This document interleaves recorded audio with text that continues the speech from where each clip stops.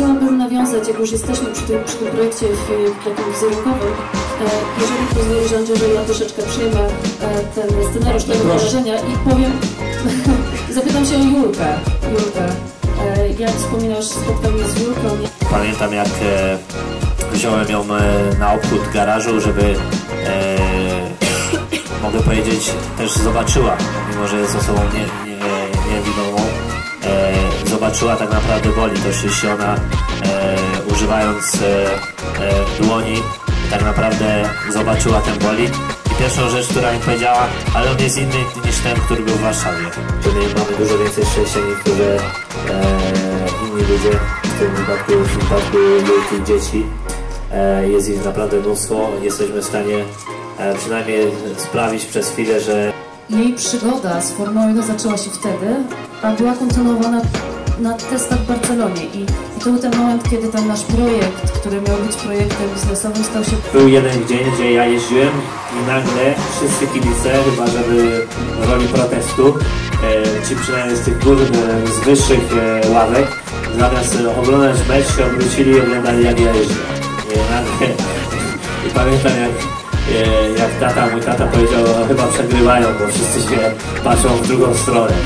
To była ciężka praca i też duża przyjemność pracować z Robertem Kubicą. Jego popularność w zasadzie dostrzegliśmy dopiero podczas Werbastry Racing, kiedy przez te dwa dni e, było tak dużo fanów i każdy chciał nie tylko zobaczyć Roberta Kubica jeżdżącego, ale zobaczyć go też na żywo. E, I QA, które były się w sobotę wieczorem w na plaży, e, no tam że rekordy frek- frekwencji podczas tego QA były, były pobite. Największym efektem jest hamowanie. E, Każde jakby auto cywilne, sportowe, e, jeśli zahamujemy na maksimum e, możliwości, wygenerujemy około 1,3-1,4 G. To jest maksimum. I już poczujemy, że na przykład szyja, jeśli nie zepniemy sobie szyi, jesteśmy na e, jakby czy komuś się zdarzyło mieć awaryjne hamowania, przeniesieniem tej mocy na akurat na, na asfalt, tak? e, żeby ten bolid e, jakby jak najszybciej ruszył z kroku. E, są auta na przykład, może rajdówki nie, ale są auta o dużo mniejsze mocy, które potrafią dużo szybciej przyspieszyć. Formuła 1 od 0 do 100 przyspiesza około 2,4 sekundy. E, Ciekawostką jest tak, że e, od 100 do 200 przyspiesza szybciej niż od 0 0 do 200, 200 na godzinę osiągamy w około 4,5 sekundy. E, no, czyli już żadne auto jakby e, na cudzysłowie spod świateł nie podskoczy. Robert, czy kiedykolwiek miałeś okazję zobaczyć jakikolwiek wyścig e, ale z trybun? E, tak, w 97 roku. Miałem 12 lat.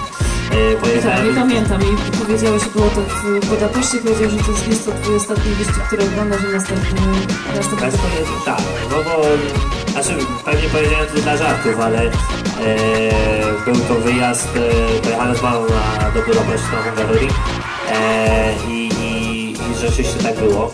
E, I tak samo zresztą powiedziałem e, przez te, oczywiście byłem dużo starszy i już nie było dla żartów.